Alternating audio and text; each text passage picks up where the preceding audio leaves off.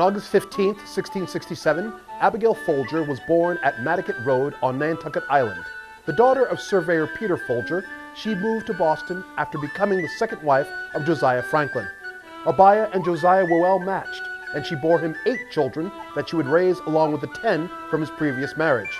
But it was the last of the 18 Franklin children that would achieve lasting fame, Benjamin Franklin. This Day in History brought to you by the Freedom Trail Foundation, partnered with the Massachusetts Teachers Association to bring history to life.